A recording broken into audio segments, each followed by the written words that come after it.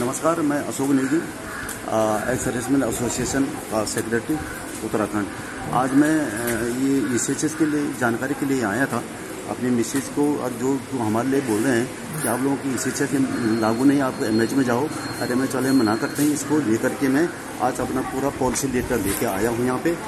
और अपनी मिसेज को लेकर के लेकिन उनको मालूम है कि आसम के लागू ने उन्होंने इजीली इम्पेनल हॉस्पिटल लिख दिया। पहले एमएच क्या था। एमएच को मैंने बताया कि हमारे एमएच पॉलिसी लेटर में है नहीं। तो हमने क्या करना? हमने सीधा प्राइवेट जो इम्पेनल हॉस्पिटल हैं वहाँ पर जाना है। तो वो लोग इजीली मान भी गया अरे ये इसका जो पॉलिसी लेटर है आ, मेरे पास मार्च 2019 का उनकी कॉपी मेरे को हैंड ओवर कर चुका हूँ मैं उनको अभी।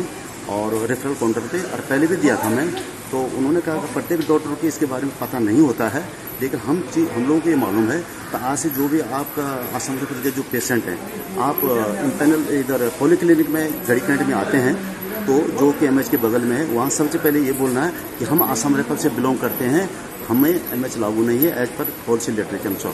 तो कृपया आज ये मैं अपनी मिसेज को लेकर आया हूँ। ये उसके डॉक्यूमेंट है और ये सिविल हॉस्पिटल में जहाँ मेरी मर्ज़ी हो, उस हॉस्पिटल में अपना वाइफ का इलाज कराऊँगा। तो आज से कोई यहाँ मैं बता, सबको बता दिया मैंने डॉक्टर लोगों को, उनको प्रशासन यहाँ पर ऑफ़िस वालों को बता दिया, ये कॉपी दे दी।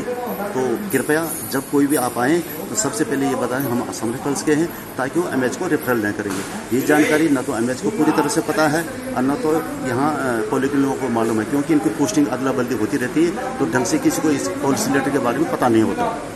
तो धन्यवाद, ये जानकारी मैं ग्रुप में साझा करूँगा अभी। नमस्कार।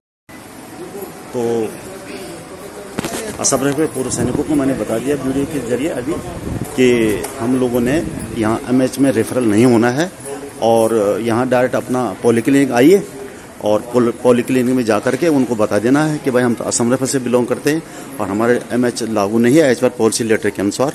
मैं इनको आज फिजिकली दे दिया हूँ। डॉक्टर साहब से बातचीत है, वो मान के उनको तो कोई ऐतराज है नहीं, लेकिन कोई कोई हमारे जो पूर्व सैनिक है, वो परेशान होती है।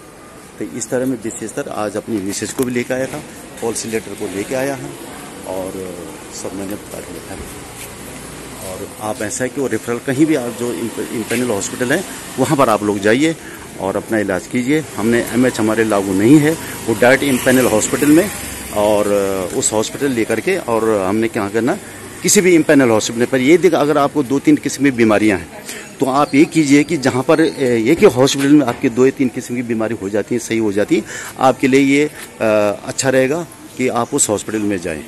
जहाँ दो तीन का एक ही साल में तो बार बार रेफरल नहीं होता है, बड़ी दिक्कत होगी आपको। तो आज से कृपया आप इम्पेनल हॉस्पिटल आइए इस पॉलिक्लिनिक में आइए और वहाँ से बताएँ हम असम रेफरल्स के हैं और प्राइवेट हॉस्पिटल में जहाँ इम्पेनल हॉस्पिटल है वो हमको रेफर कर देंगे। तो हमको एमएच नहीं जाना है। धन्यवाद।